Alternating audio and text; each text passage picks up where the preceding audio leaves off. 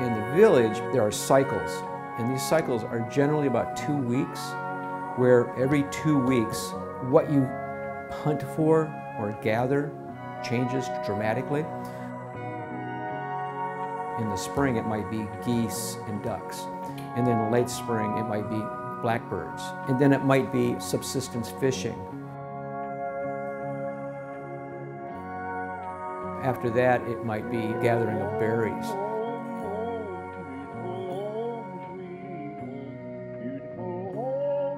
Then after that, when the ice forms, it might be going out and doing ice fishing for pike. You really could be out there year round and not get everything. You know, you almost have to be there two or three years year round to get all the different subtle things that go on in the village.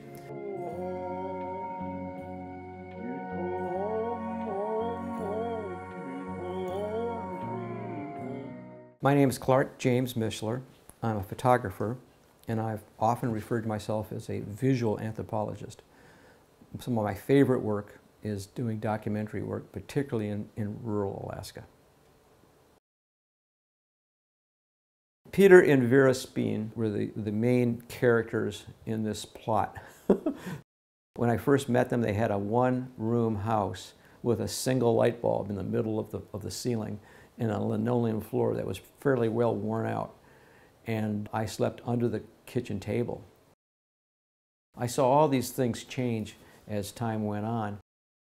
Went out on many, many trips with Peter and, Vera and Vera's mother and Peter's mother, all the aunts and the uncles and the cousins.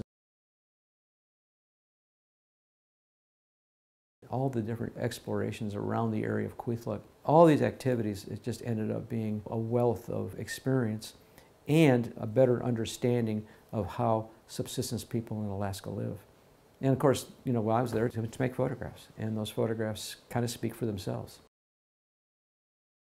On the Kwethluk River, from the village of Kwethluk, no more than a five, ten minute ride by boat. They have a little cabin and a little smokehouse and some outdoor hanging poles that they hook up in the summertime to hang the fish. And then they'll string a uh, tarp over top of the fish to keep the rain from spoiling the fish so that it has plenty of time to dry without getting wet. The house has no insulation. The mosquitoes are, are deadly, you know.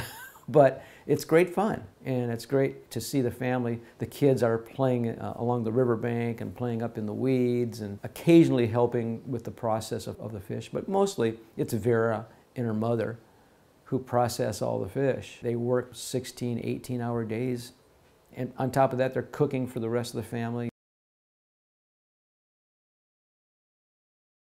peter and his son are out catching the fish and doing their subsistence fishing and then bringing them back, and then the kids go down to the boat and they help carry the fish up to the camp.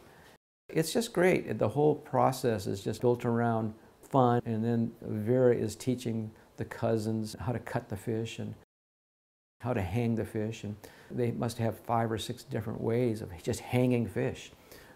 Sometimes they'll split the fish down the middle, they'll open it up, they'll use willow sticks to kind of splay the fish out to make sure that it doesn't collapse back on itself. And then they'll hang those on lines. Other times, they'll take the fish laterally and they'll cut it, leaving only the tail connected. And then they'll take those two pieces of fish that are connected by the tail and they'll hang those over a log, right? And then they'll do lateral diagonal cuts in that fish to further uh, open up the flesh of the fish to give it more surface area that it could dry. And usually when you do it that way, the fish doesn't dry all that well. It remains very moist. And you might eat that fish maybe a month later because it's not completely dried. It's just sort of dried on the surface. But the interior of the flesh is still very much like the fish that you caught. And then, of course, you've got the strips, which are these tiny little, maybe a quarter of an inch or less sometimes, little strips one side has got the salmon skin, and then you've got maybe an eighth of an inch to a quarter of an inch of flesh of the actual salmon. And those are hung in a smokehouse, and they're dried for uh, maybe three or four days with a continuous smoke drying effect. So these are going to be extremely dry and extremely dense in the character of the flesh so that they'll last for six months, even longer, and give you nourishment down the road. So all these different processes of the fish are things that I observed, things that I photographed, things that I had no idea that people were doing these sort of things. And these are techniques that have been taught to the kids and then taught to the, to the grandkids and then taught down the road so that eventually everybody in the village knows how to process fish. And it's been going on for thousands of years. And it works.